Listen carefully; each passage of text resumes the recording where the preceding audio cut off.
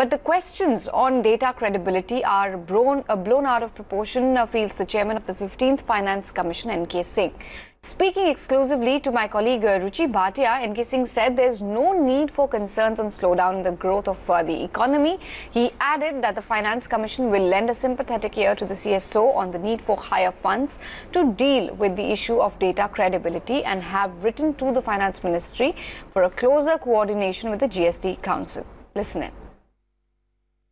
I think there is an, a bit of an element of exaggeration, if I may say so, in projecting this downward uh, scenario uh, for the Indian economy. Not only because I think it's a very short-term blip and uh, that the long-term trends or the medium-term trends even continue to be quite robust to go by every conceivable data, by uh, what international agencies have, have given, look at the latest IMF and other data, which projects really a very robust rate of growth for the for the fiscal year as a whole.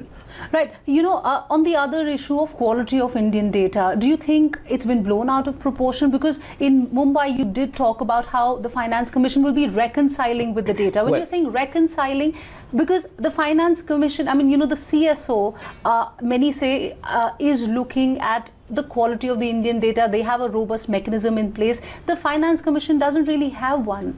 Well, let me put it this way to you. Uh, uh, uh, just two brief comments. Three. First of all, I think when I talked of data reconciliation in Mumbai, uh, I think that the newspaper has projected it as if that I was looking at this whole holistic controversy relating to the data. That's not the, the Finance Commission mandate. By the way, the quality of data at the state level, at the state level, and we have visited 20 states out of 29, we find that the states really that there is very poor quality of data and data mechanism. Right. So